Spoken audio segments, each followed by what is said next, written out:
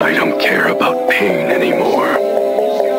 More important than pain is this impulse that's rising within me.